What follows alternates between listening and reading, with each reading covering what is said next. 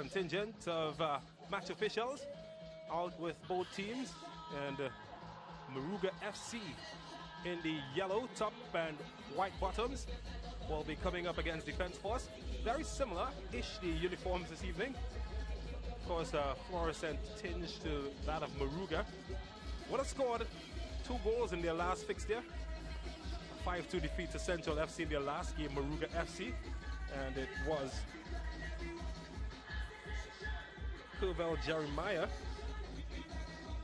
one of the players to be among goals in that competition. They've got a mixture of young players and uh, some experience. We will introduce you to the lineups in uh, just a bit. So it's all to play for this evening. The team from the Western Peninsula coming up from coming up against the team from deep south in Trinidad, Moruga FC.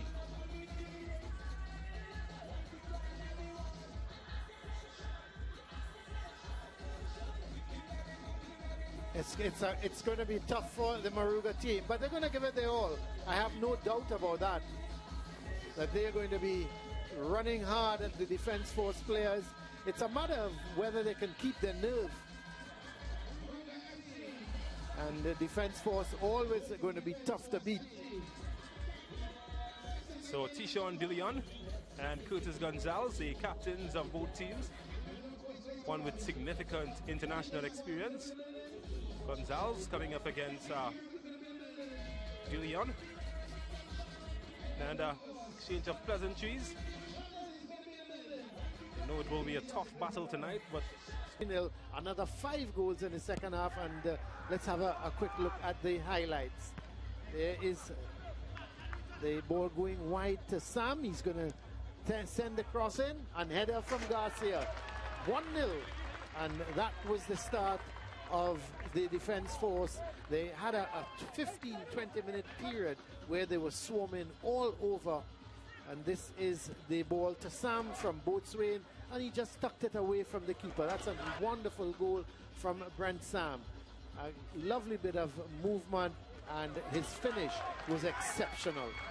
So that was then 2 0 for the defense force.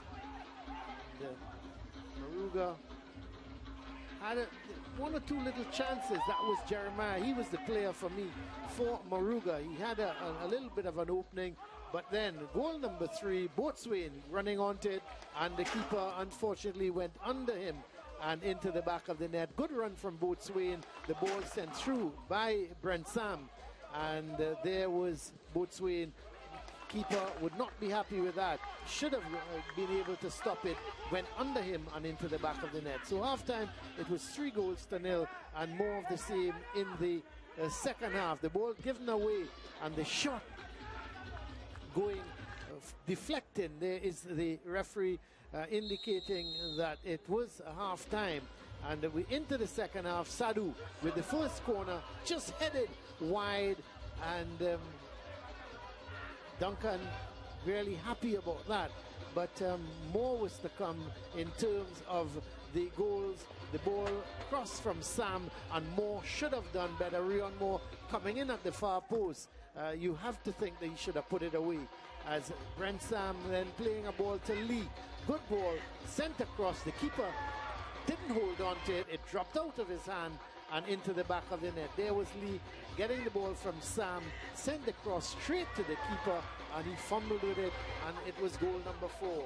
Then another cross ball, this time to Sam from Lee, and he put it away beautifully. One time as it came across to him, he just hit it on the first attempt and put it into the back of the net.